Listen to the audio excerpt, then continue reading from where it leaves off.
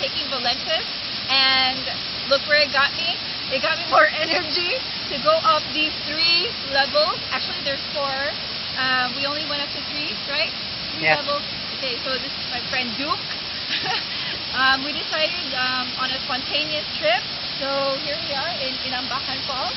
So thanks to Valentus, I got more energy. Um, my weight is down to um, 83 kilograms. So uh, I hope to maintain more, um, you know, more energy, and I'll be taking a coffee.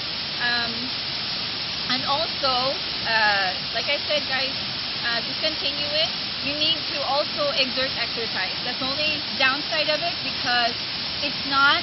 Um, it's not a slimming coffee alone unless you also put some effort into it. So you need to do a little bit more diet and exercise put together if you want faster results. So thank you so much, Valentus, for giving me the opportunity.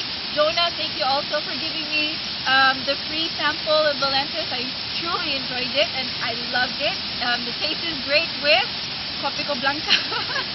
so if you like mixing it with another type of coffee, go ahead as long as it has cream as well.